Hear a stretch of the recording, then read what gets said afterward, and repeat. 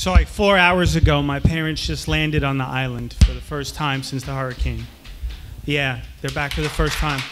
And um, I wish I could be there, there with them to hug my family. Um, but this is, a, this is a good consolation prize to be here with all of you.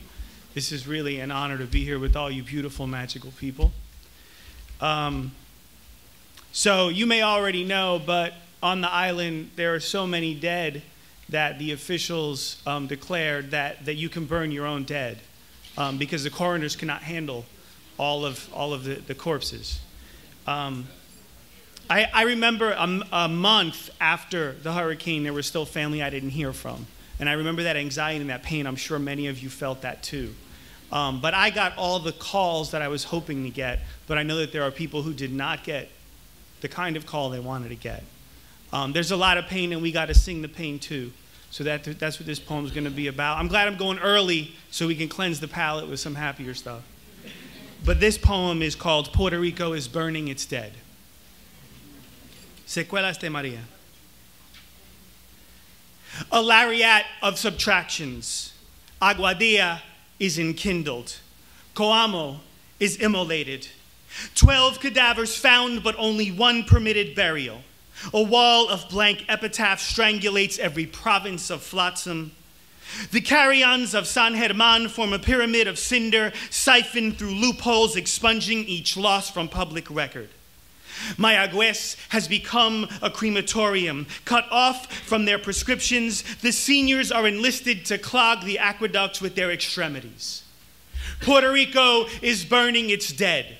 The grief stricken ashes are expelled data offering the brass contrition. Crippled funeral parlors obliterate forensics, the sky replete with muted quarter tones of mourning townsfolk destined to live as smoke. All accounts of the aftermath have been redacted for the foreign press. Those with capillaries woven into the gardens of San Lorenzo and Las Marias drown themselves in unlit waiting rooms, unsure if hearing the names of the vanished will ignite relief or calamity. There is a burning if they make the list, a burning if they continue to exist without punctuation. Their numbers, stifled by vulgar ingots that refuse to comment. Oxygen is put on the black market Bones are used to hold up infected roofs. Unidentified remains get poured like concrete into the lungs of the public. Dialysis stations stalled.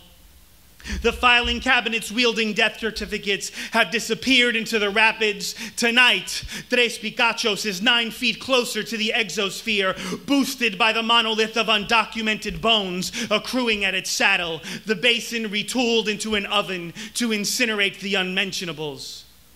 While smoldering, they debate if it was hurricane or insouciance that induced this disaster. The air is an autopsy of the unfed, the parched wounds left festering in Aguas Buenas and Port Isabel as the head office determines what is a person and what is collateral. Clouds cover bawling electrical lines, typecast as severed umbilical cords. Puerto Rico is burning. It's dead forever exhumed, grieve over the failings of survivors. They plead for definition, for cause, for first responders. A single overheating generator must keep the whole nation treading. A Elihu Root's brood goes viral. Caustic, they ask the departed, Are you carcass or rumor?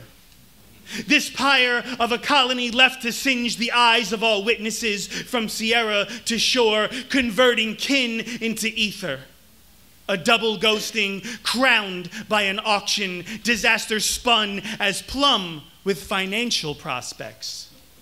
Puerto Rico is burning, it's dead. The subcontractors have walked off the job. The bereaved keep counting, keep foraging, keep shipping rations home, keep combing coast and summit for every disappeared tía, keep mourning the brownout like Aurora Borealis.